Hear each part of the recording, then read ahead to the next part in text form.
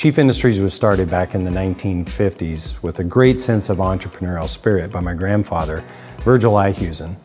We started as a family business and we remain that way today with over 1,400 members that comprise this family.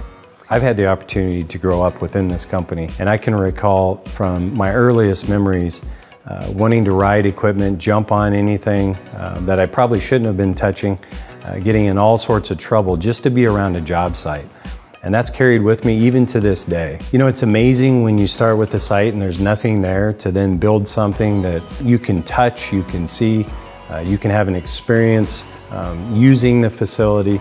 Construction is a big investment for our customers, so we have very experienced people to do a quality build on time. We hired superintendents and project managers with educational background to complement the years and years of experience of our experts in design build.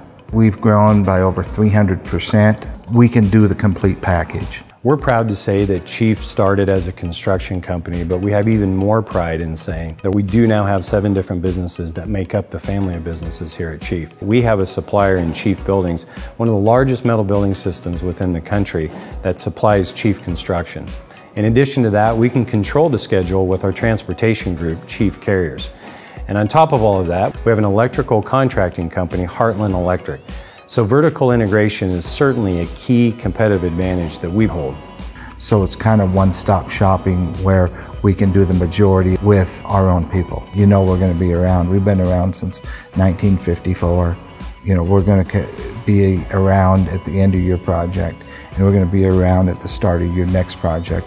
The types of projects that we can do are really limitless. It doesn't matter how small, how large, you name it, we can build it. We are trusted, tested, true.